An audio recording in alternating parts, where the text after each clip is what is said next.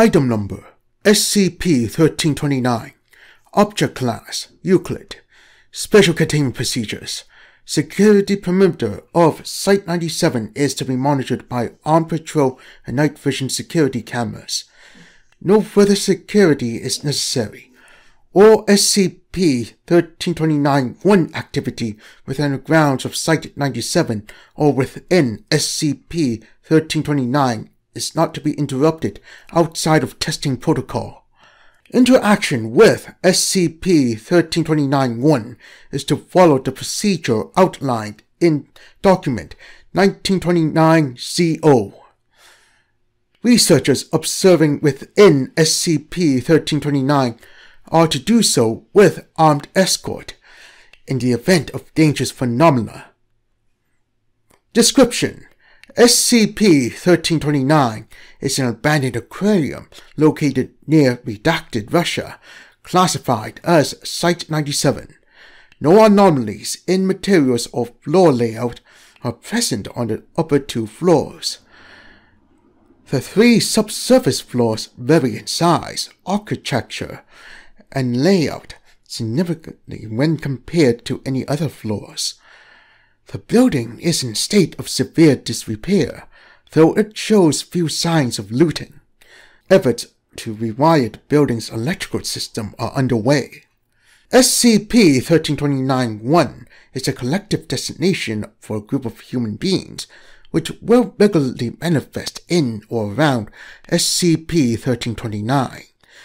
Subjects are primarily Asian, Caucasian, or Middle Eastern in ethnicity, and will average 25 to 50 years of age, though individuals as young as 5 or as old as 70 has been observed. Subjects speak a pidgin language consisting of loanwords from English, Russian, Mandarin, Arabic, and various Turkic languages. Subjects show signs of overexposure, malnourishment, and symptoms resembling mercury poisoning, specifically desquamation, also known as heavy skin shedding, compulsive itching, and nerve damage. Subjects generally wear heavily repaired or modified clothing, commonly consisting commonly consisting of or incorporating parts of a pale green jumpsuit or scrubs. Armored vests an uncommon but regular feature, and in one instance an atmospheric diving suit was observed. Items carried by SCP-1329-1 have included firearms, improvised spears or harpoons, compasses and map-making equipment, lengths of rope, cans of motor oil, plastic jugs containing distilled water, fish stock, whale blubber, or algae cultures, and various trinkets containing fish bones or preserved skin. SCP-1329-1 are aware of observers and will act accordingly. However, they do not seem to be completely aware of the nature of their location, or the nature of their observers, often making passing reference to non-existent people, places, or events. Subjects and repeated manifestations will remain unaware of the presence of observing individuals or outside events until physical contact is made. These subjects will show no signs of remembering outside contacts and will not be persuaded to act contrary to the event of their particular manifestation. The manifestation of SCP-1329-1 subjects consists of entry and exit into a room or area, with location depending on the observer's line of sight. Manifestations will not pass until the subject has passed from the view of observers, but will average anywhere from 10 seconds to upwards of an hour. When under observation from containment, Video recordings will experience a 3 second blackout exactly 23 minutes and 10 seconds after the subject's entry into the room, during which period the subject will disappear. During manifestations, SCP-1329-1 will walk around, converse with each other if more than one is present, and interact with their environment. As of Beep 2012, 358 unique SCP-1329-1 individuals have been catalogued.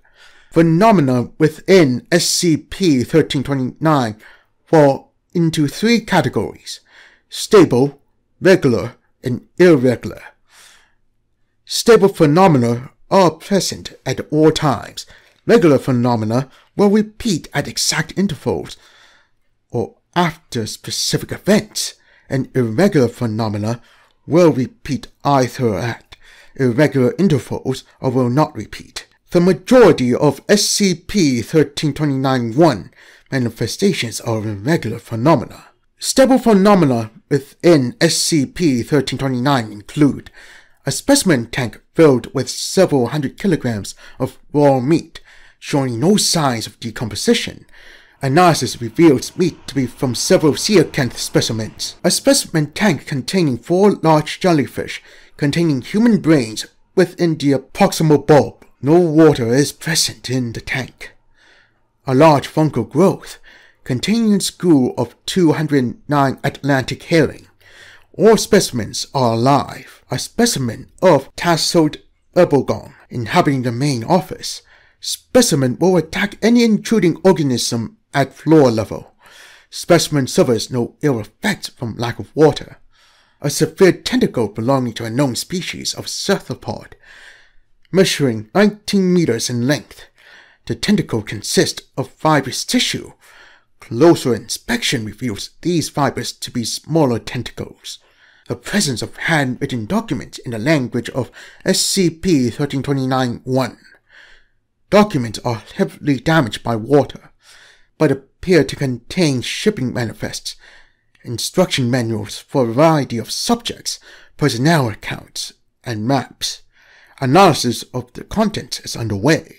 Regular phenomena within SCP-1329 include opening the door to room B-106 reveal an SCP-1329 one subject, number 28, in the specimen tank being attacked by juvenile bull shark, the subject will struggle for approximately 30 seconds, beating at the shark's head and attempting to gouge out its eyes before dying. No attempts to rescue the subject has been successful. The phenomenon will not reset until the room has been exited and the door has been shut. Two armed SCP-1329-1 specimens, numbers 12 and 13, will transport a plastic crate through basement level 2 every Thursday at 10:12 a.m., starting at stairwell and ending in room B215. Muffled sounds can be heard emanating from the crate. Basement level 3 will fill with salt water during the months of February and July.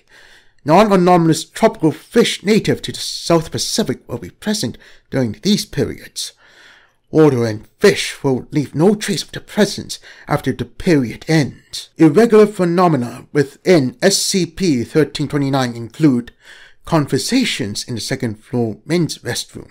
The language matches that spoken by SCP-1329-1, but the majority of the words are indistinct. The manifestation of SCP-1321-138 who will physically assault any individuals present before running off. This manifestation occurs throughout the entirety of SCP-1329. The manifestation of SCP-1329 1, 103, and 104, being a Middle Eastern woman of approximately 30 years and a female child of approximately 7, respectively, 103 appears to be in the third trimester of pregnancy and to become completely unaware of outside stimuli. 104 will lead 103 by the hand through the facility with some urgency. Of note are several tears in 103's abdomen, revealing compacted plastic refuse. Manifestation is generally observed on the ground floor, but may appear in basement level 1 streams of bubbles appearing in midair. Event occurs throughout SCP-1329. The appearance of the deceased body of a tiger shark specimen in the main second floor hallway. The body shows signs of massive blunt trauma and being hit by a motor vehicle multiple times. Addendum 01 Beep 2011 A specimen of SCP-1329-1 manifested in downtown redacted Germany, approximately beep kilometers from SCP-1329. Subject was arrested by local authorities for threatening pedestrians with a harpoon. The manifestation ended before Foundation agents were able to secure the subjects. Addendum 2 The following is a translation of one of the documents recovered within SCP 1329. We're running out of water. Braved at each field three days ago to find more, and has not returned. I feared he is lost. Justukov believes that he was able to fix the pumps and that we will be able to remain here. Though I hope he is able to fix the pumps. I do not like this place. He's a haunted disease.